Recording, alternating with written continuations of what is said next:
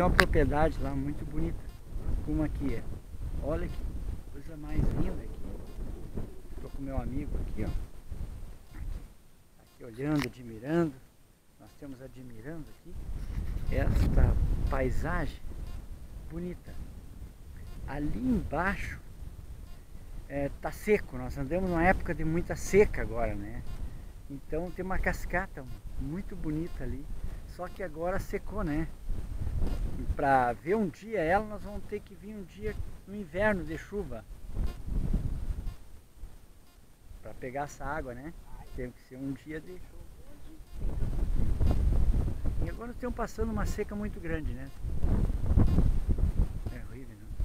É ruim para tudo, né? Mas eu acho que acho que em seguida agora nós Tá amanhã? Pode ser, tomara. Tomara que venha. Tem é aquela lavoura de soja ali, tem que é ali.